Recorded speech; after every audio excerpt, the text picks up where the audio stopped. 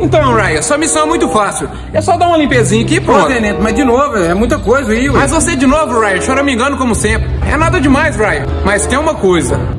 Não abra nenhuma caixa que esteja aqui. Meu coronel disse que é muito perigoso, Tem Ryan. que ser esse coronel doido da cabeça também. Então, Ryan, você acabando aqui, você tá liberado. Pode deixar comigo, tenente, que eu vou limpar tudo. Vou lá tomar minha água e acaba rápido. Esse tenente também nem pra ajudar, só.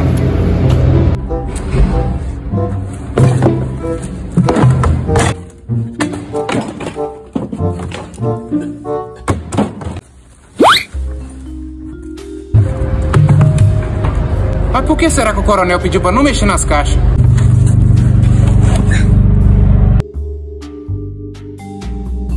Eu sou curioso mesmo.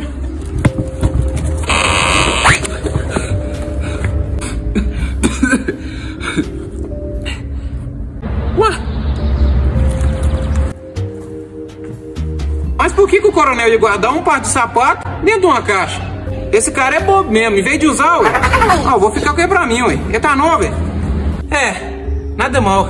Até que ficou bonito. Você piscou pra mim? Ah, não vem com essa história de novo, não. Vem aqui que eu vou te encher de beijinho.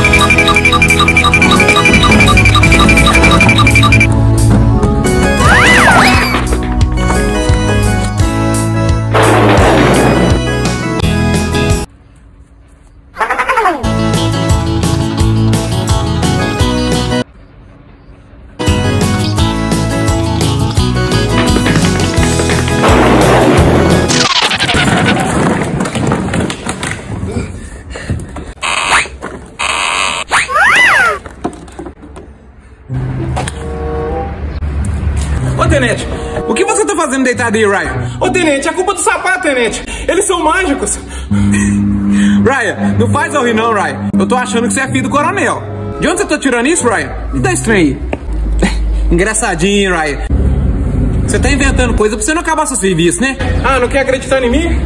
Então tá bom. Ô, Ryan, eu vou ficar com esse sapato aqui, mas você acaba seu serviço. Eu nunca vi uma coisa dessa na minha vida. Mas foi até bom, que ele me salvou do pisca.